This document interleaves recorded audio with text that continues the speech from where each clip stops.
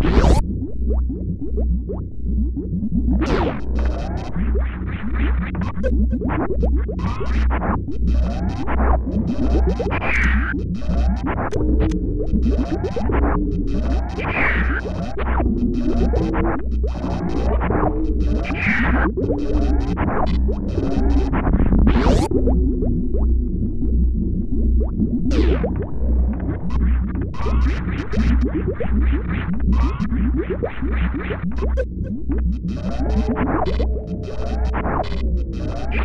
We'll be right